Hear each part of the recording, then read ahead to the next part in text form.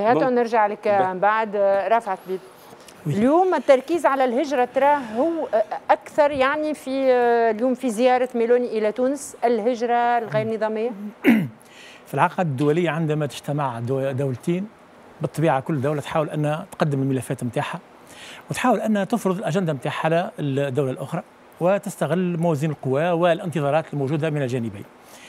في العلاقات بين تونس وإيطاليا في المدة الأخيرة بدأت هناك نوع من التوازن الذي يبرز لأن إيطاليا لها مطالب.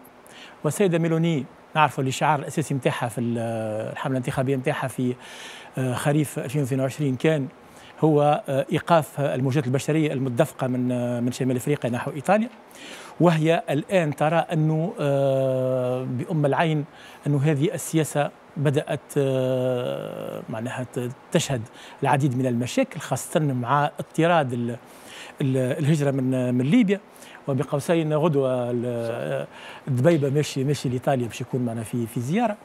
وفي نفس الوقت هناك أيضا انتظارات من تونس التي نجحت نوعا ما في فرض أيضا الاجنده نتاعها وأنا تبعت الكلمة نتاعها بشكل آه، معناها دقيق لأنه ما بين آه، السطور كانت هناك بعض الإشارات المهمة.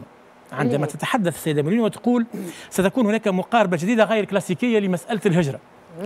هي نوع من أنواع آه، قبول النظرة التونسية التي تقول أنه من دون لو غران بلان مارشال لل معنى الثلاث مناطق يعني الخمسة الأوروبيين الخمسة المغاربة والخمسة في الساحل والصحراء لا يمكن إيقاف هذه الهجرة الغير نظامية.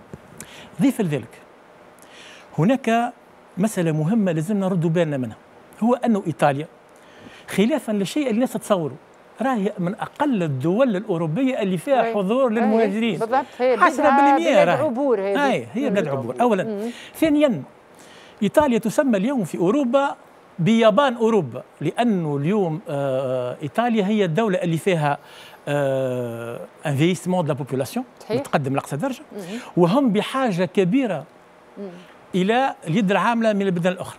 ولكن ما هو الإشكال في إيطاليا؟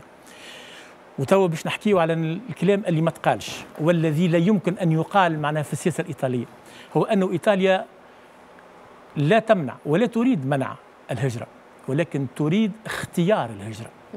يعني أنه مثلا مع تونس تحب تلقى حل لإستجلاب نوع معين من ال حسب حاجيتها يعني. حسب حاجيتها بالطبيعة.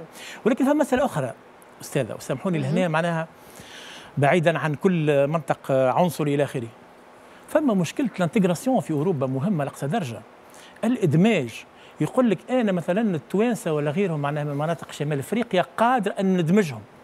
قادرة أنا إيطاليا أنه في إطار معناها تعاملات تكاملات ثقافية إلى آخره أن نقوم بدمجهم. لكن هناك موجات بشرية اللي حكى عليهم بكري معناها آه الأستاذ آه، معناها المقني. يقول لك ناس جاية من بلدان أخرين تو مثلا الشيء اللي لاحظناه في صفاقس المدة الأخيرة. ناس قاعدة تجي من بنغلاديش ناس قاعدة تجي معناها من من أفغانستان يعني من مناطق بعيده درجه هذه من المجموعات التي لا تريدها إيطاليا. ولاحظنا أنه معناها من من بعد كوفيد ولا معنا في فترة كوفيد إلى يومنا هذايا كل بلد في أوروبا أصبحت له نوع من أنواع التمييز.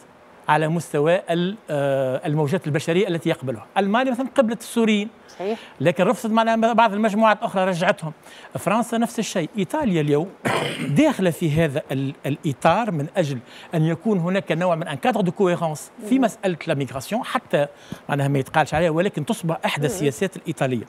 اللي يهمنا نحن هو أنه تقتنع أوروبا وليس فقط إيطاليا. وذاك علاش؟ معناها المؤتمر هذا يجب أن يكون مؤتمر تونسي إيطالي. لازم يكون معناها مؤتمر تشارك فيه كل الفاعلين في المسألة هذه. لأنه شيء اللي قاعد يصير الناس قاعدة تجي من مالي ومن نيجير ومن بوركينا فاسو وتجي من شمال الكوت ديفوار علاه جايين. لأنه المناطق هذه أصبحت منكوبة اقتصاديا واجتماعيا وحتى حتى على المستوى المناخي. وما دام ما تحلش المشكل. على المستوى الاجتماعي والاقتصادي فإن المناطق هذه ستبقى مناطق إرسال لموجات بشرية. وإذا أوروبا باش تولي تتعامل معنا كان في مس... كان بطريقة أمنية في مسألة الهجرة. وإذا معناها المناطق هذه اللي في موجودة في إفريقيا باش تبقى دائما ترسل لينا في الموجات البشرية. ستتحول تونس أردنا مكانها إلى منطقة آه معناها حصر هذه المجموعات البشرية. وبالتالي على تونس أن تبقى على هذا المستوى من المطلبية أنه لازمنا ان غران بلان مارشال لا فقط معناها لمنطقتنا لكن أيضا مع الساحل والصحراء حتى نوقف هذه الموجات البشرية.